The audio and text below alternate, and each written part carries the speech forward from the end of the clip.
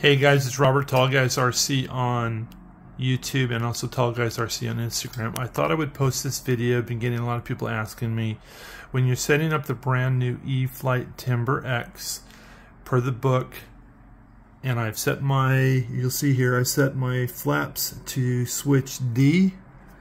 Flaps don't work.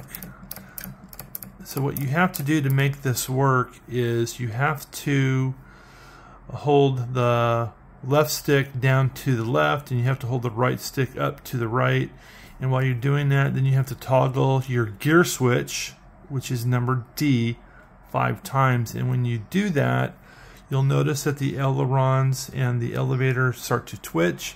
And then once you do that your flaperon should work.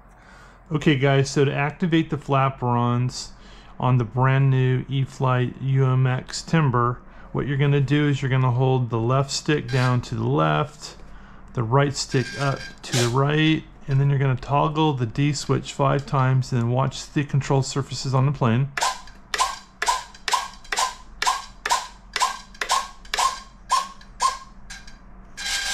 Okay, so you saw as I did that five times, the elevator notched twice to indicate that everything should work. And now watch the flaperons work.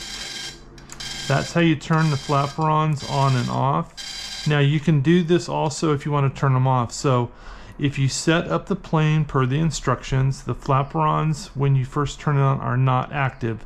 On page 6 of the manual it tells you or shows you how to do what I just did and that's how you activate the flaperons. So now you see they work fine.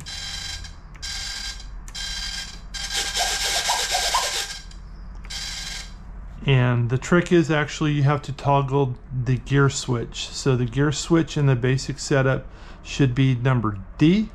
Hope this video helps guys. More videos like this, tips and tricks. Tall Guys RC signing out. Peace.